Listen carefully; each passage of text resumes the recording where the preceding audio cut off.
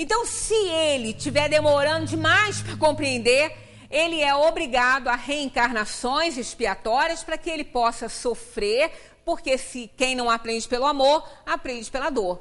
Então aí Deus impõe encarnações bastante complicadas para essa alma, quando ela não faz por onde de fazer uma escolha acertada para ela. Então é imposto. Mas quase sempre, no nosso nível de evolução, nesse nível que nos encontramos, nós sempre escolhemos as provas que estamos passando nesse mundo, auxiliados pelos espíritos, e escolhemos aquelas que melhor podem nos dar condições de resgatar o nosso passado, já que nos arrependemos das ações que cometemos né, dentro do erro. O arrependimento, por si só, ele não redime. O arrependimento por si só não redime. Seria muito fácil, né? Hoje eu estava vendo à tarde o último capítulo daquela novelinha das, da, da tarde, não é? Sim, a moça. E o coronel Ferreira, nos seus últimos momentos aqui na Terra, perguntou ao Frei José, que era aquele Frei bondoso, que ele inclusive botou ele lá no tronco para ser escoteado também, se, se, se Deus né, perdoava, se ele tinha o direito dele se arrepender. Ele disse que sim, claro. Mas ao contrário, né? De filosofias que acham que basta aquele arrependimento ali para estar tá salvo, é o primeiro passo. Ele reconheceu o seu erro. É bom que reconheça antes, ótimo, porque vai passar para a dimensão dos espíritos com menos problemas. Vai entrar menos perturbado na dimensão dos espíritos, né?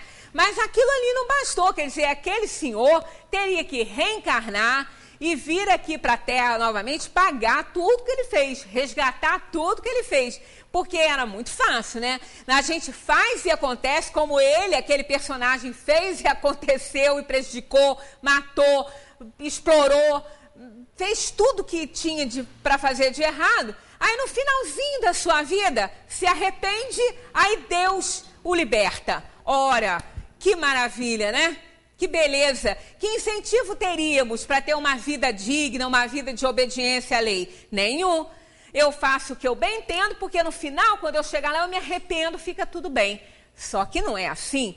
Né? Essa bendita doutrina espírita vem nos elucidar que não é bem assim. O arrependimento, por si só, não redime. É de fundamental importância que o mal seja reparado. Lógico, né? eu pego, eu bebo bastante, pego meu carro, saio igual uma louca, invado a casa de alguém, derrubo muro, paredes. Aí eu fico depois boa, né? Fico lúcida, vejo o estrago que fiz, aí me ajoelho aos pés do dono da casa, pedindo perdão que eu estou arrependido. Ele, perdoou, que bom que você se arrependeu, agora conserta meu muro, conserta a parede, bota tudo direitinho como estava. Não é? É, senão não tem valor. Né? O que, que adianta eu me arrepender? Eu exploro, maltrato, faço uma desgraça qualquer e me arrependo. E a pobre da criatura lá vai ficar com tudo, toda a despesa, com todo o prejuízo? Não é justo, né? De jeito nenhum. Então é de fundamental importância que o mal seja reparado através de profundas transformações de comportamento. Porque arrepender-se da boca para fora não resolve. Eu me arrependo hoje, fiz uma coisa que eu não devia fazer, falei o que não devia, me arrependo amanhã, tô eu lá com a língua comprida de novo, falando as mesmas besteiras, fazendo as mesmas bobagens. O que, que adianta isso? Então são profundas transformações de comportamento. Eu tenho que colocar em prática esse arrependimento e não fazer de novo, não é?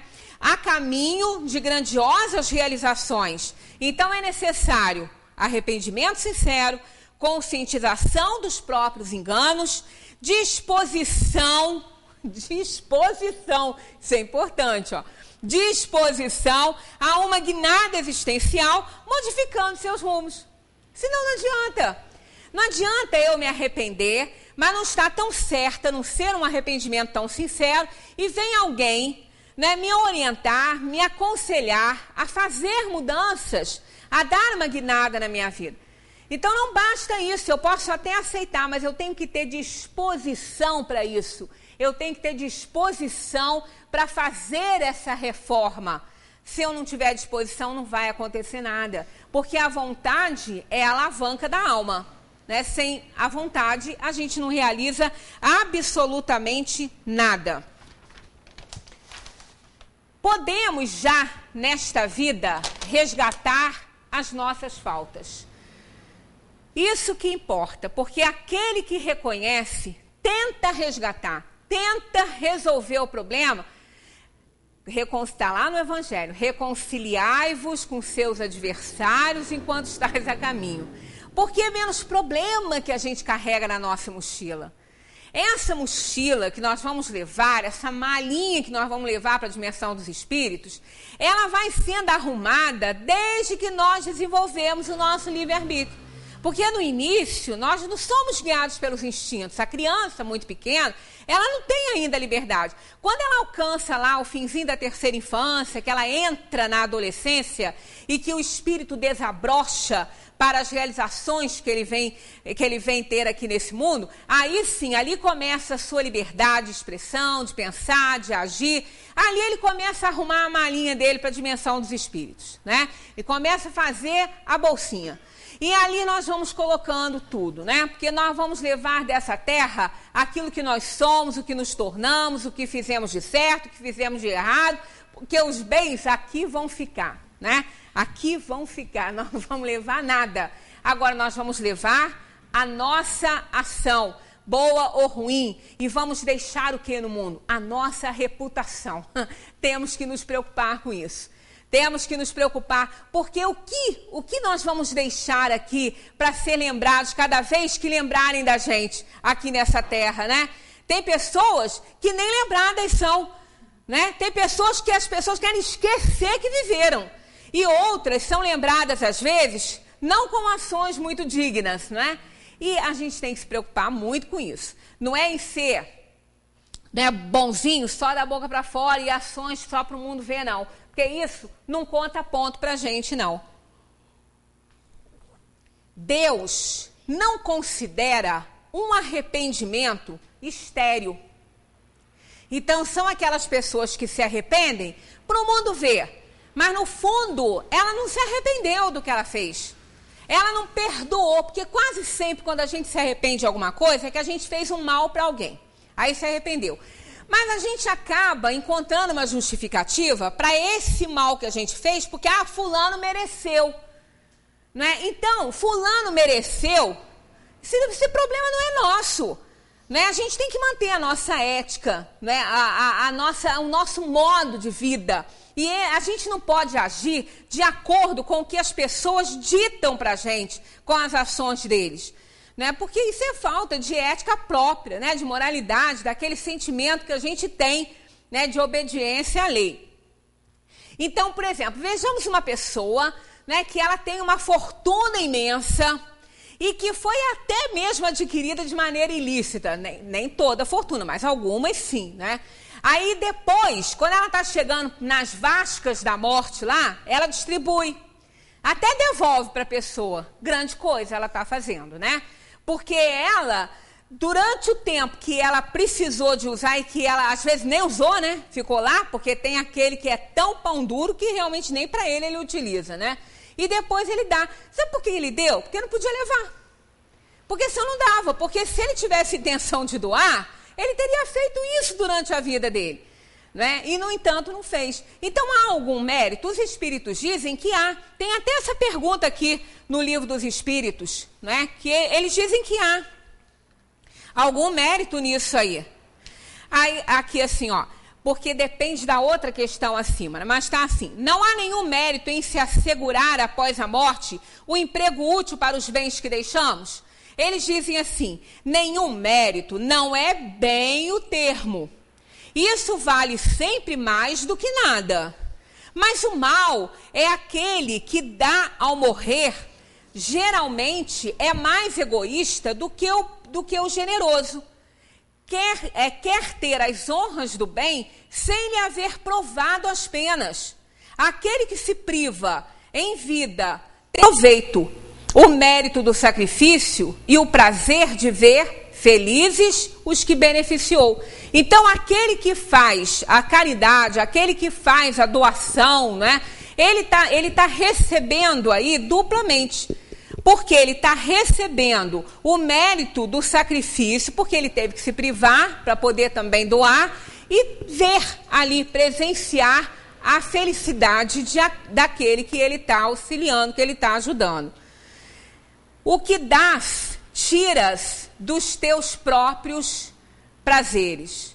E como o egoísmo fala mais alto que o desinteresse e a caridade, ele guarda em vez de dar sob o pretexto das suas necessidades e das exigências da sua posição. Ah, lastimai aquele que desconhece o prazer de doar, porque foi realmente deserdado de um dos mais puros e suaves prazeres do homem. Deus, submetendo-o à prova da fortuna, tão escorregadia e perigosa para o seu futuro, quis dar-lhe em compensação a ventura da generosidade de que ele pode gozar neste mundo. Então tem mérito? Tem, mas não como teria né, se nós pudéssemos ter o prazer de nos sacrificarmos um pouco para ajudar o outro, que é aí que está. Né, é, não considera estéreo, né? Considera estéreo se o arrependimento não for sincero. O mal não é reparado senão pelo bem. A reparação não tem mérito algum se não atingir o homem no seu orgulho ou nos seus interesses materiais. Então não, não adianta nada. Ele é, o, o espírito não está fazendo grande coisa, né, encarnado aqui, se ele também não não fere os seus interesses, né, as suas conveniências para poder ajudar alguém.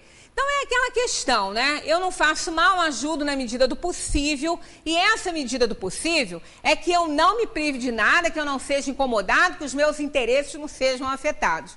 Então isso mostra, segundo os espíritos, que nós estamos ainda com um egoísmo muito exacerbado. De que lhe serve humilhar-se diante de Deus se conserva o seu orgulho diante dos homens? Né? É aquela questão do óbolo da viúva. Hoje mesmo eu estava vendo e lendo uma historinha, que eu queria trazer uma historinha que eu trouxe, que é interessante também, ilustra essa questão do arrependimento. Uma criança chegou numa loja com um pouquinho de dinheiro que ela tinha, que ela conseguiu juntar, mas não tinha noção de preço. E viu um cordão lindo, verde, de parecia é, é, é, esmeraldas, né? E quis comprar para a irmã.